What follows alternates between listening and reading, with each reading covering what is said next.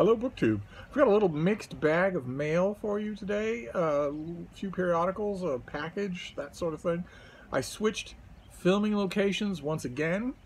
I'm going to keep trying this. This is the one that most of you seem very vocally to prefer because uh, the bean is in the picture. she is at her window. She's not doing much, so I don't know. I don't know why you need to see her, especially since you should be keeping your eyes on the prize. Uh, but it's a beautiful, beautiful day. I don't think the temperature here is going to reach 70 degrees Fahrenheit. It's just an amazing difference turnaround in 24 hours. Just amazing. The the first day that we were back uh, and the first night was cloyingly hot and humid. Impossible for Frida to go to get comfortable on uh, what was that Wednesday night? Wednesday night, uh, and then Thursday and today completely different uh, drier air, cooler air, just lovely.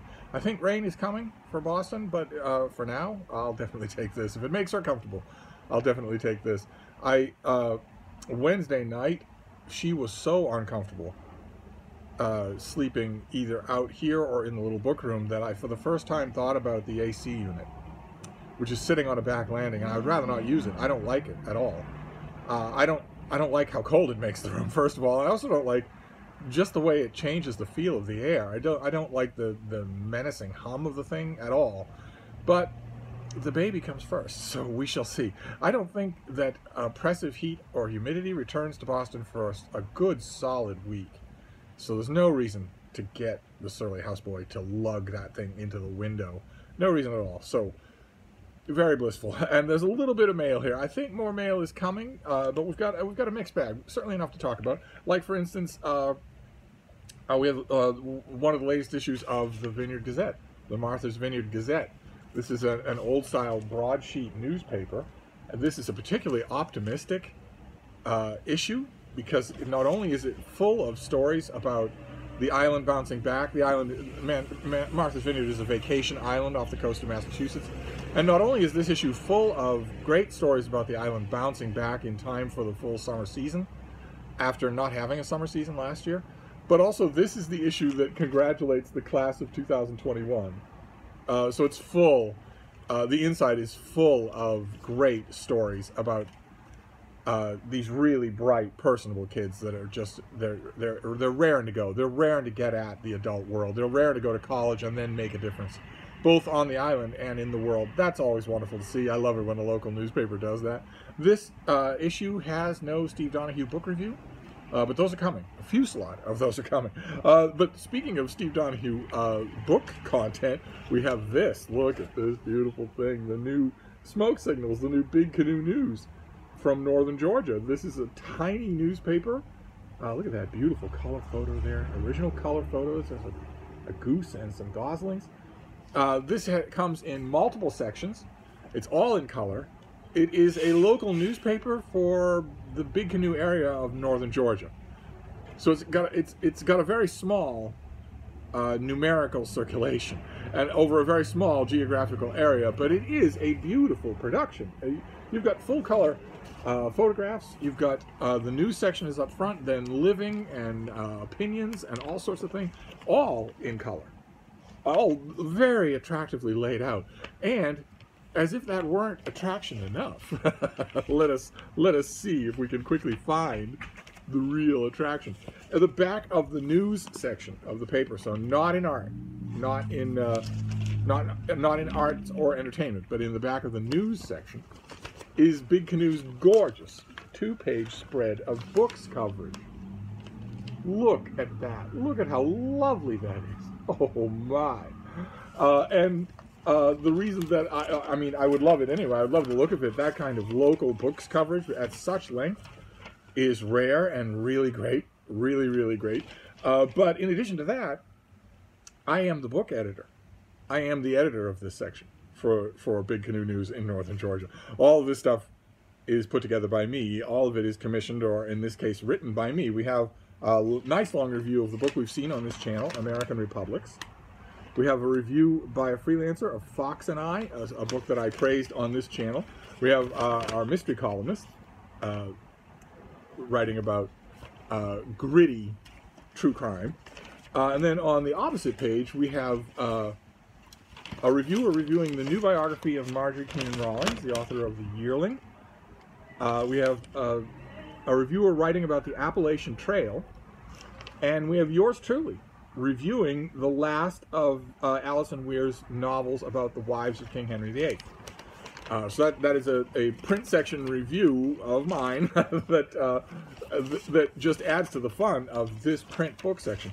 Cannot say, just cannot tell you how proud I am of the finished product. The, the thing that originally attracted me to, to freelance book reviews for Big Canoe News was how attractive a job they do in laying everything out. It's just a beautiful section. It's a beautiful paper, just in general. Uh, but the book section is beautiful. Big, generous two-page spread of books just lovely. And then I got the chance to be the editor of that section. So I am, once again, after a very long time, I am a print newspaper book section editor.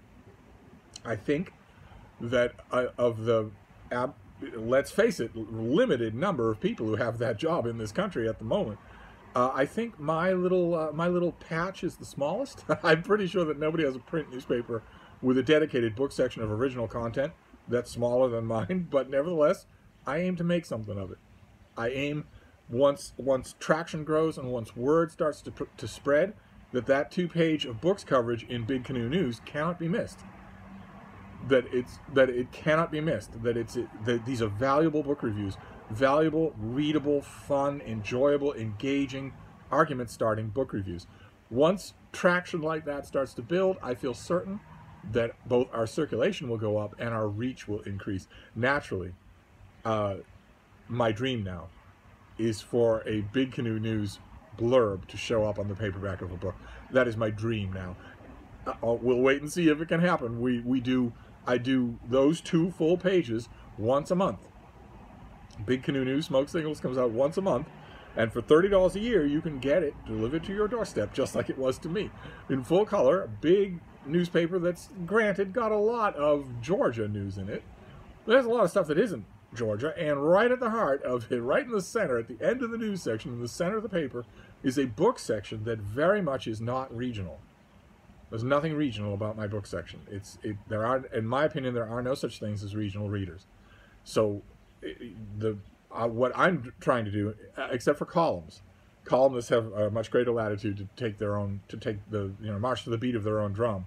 Uh, but as far as the the book reviews go, they are going to be reviews informative, entertaining, readable book reviews of stuff that you're going to see in bookstores in the month that that issue comes out. So, so that in addition to entertaining you, they will also maybe help you.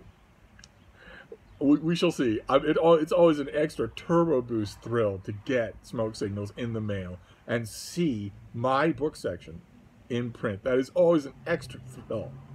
So I was very happy, very happy when that happened. I'm going to have to go over it uh, at length and lovingly look at all of those pieces. But boy, oh boy, what a thrill! And July's issue is is barreling your way. we have, my mystery columnist only turns in a column once every other month, so July will feature a column by me about coming attractions, about books that are coming out in July, and my thoughts on some of them, plus a whole bunch of reviews. So anyway, that's great. That's fantastic. So Big Canoe News is out. And then we have, I also got in the mail a catalog for forthcoming New York Review of Books paperbacks.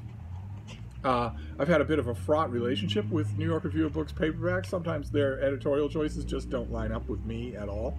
Uh, but I, I've read a few that I really liked. I've got a couple recently that I haven't read yet, uh, but that strike me as very interesting. Not at all the kind of Williamsburg pinky in the air, waxed mustache tips, uh, precious Cantab Lounge literati type stuff, but actually enjoyable. There was one called Mr. Beethoven by Paul Griffiths. We saw that on the channel just the other day, a hypothetical novel in which Beethoven comes to America. We saw another book called The Netanyahus that seemed also very interesting. But this catalog, oh my, this catalog has some stuff in it that I'm hoping I get. I'm getting a catalog from them in the mail. I'm also getting some books from them in the mail. So I must be on somebody's mailing list at the NYRB. I didn't think I was until these things started showing up regularly. But for instance, Elizabeth Taylor's novel, Mrs. Palfrey at the Claremont, is getting a New York Review of Books paperback. Uh, there is a new translation of Dante's Purgatorio. Uh, it's just that's amazing that, that, that I might get that in the mail. There's uh, an edition of H.G. Wells' War of the Worlds, illustrated by Edward Gorey, uh, that I can't wait can't wait to, to see if it if it if it actually comes here. There's a very lovely looking edition of Edith Wharton's ghost stories.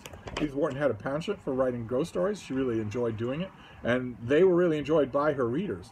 So any new collection is fine by me. Uh, I thought there was one other. Maybe not. Maybe I've exhausted. Uh, oh yeah. Yeah, there was one other. Not so much I'm eagerly looking forward to as a How Dare You on cats with an introduction by Margaret Atwood. For God's sake, the only thing you could do to finish that trifecta was be if it has an epilogue by uh, Cormac McCarthy. So it's a book about cats with a foreword by uh, Margaret Atwood. but in addition to all of those periodicals, I also got a package in the mail, so we won't be completely book free. Could be that more books are coming today. Uh, but in the meantime, we'll at least have this one to, to look at and see. Uh, Okay, so what have we got here? Oh no. Oh, okay. This. Oh, this must be a paperback original then.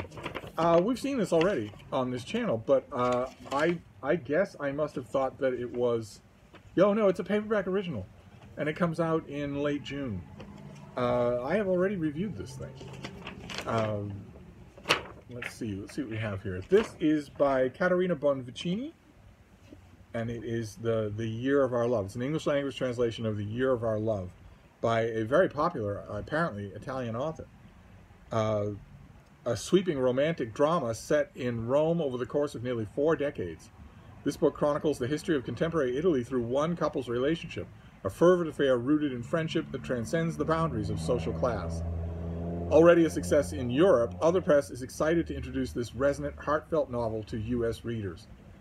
Uh, and it, it opens in the 1970s and follows the two main characters, uh, who are named uh, Olivia and Valerio.